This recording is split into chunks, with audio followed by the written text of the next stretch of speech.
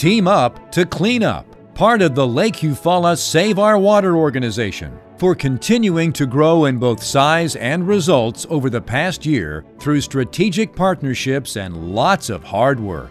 Major projects included cleanups of 25 miles of roadway and around the Lake Eufaula Dam and beaches, a free dump day, an eco art contest, the placing of containers for litter and recyclables, and various educational efforts, including a highly successful anti litter video shown to area schools.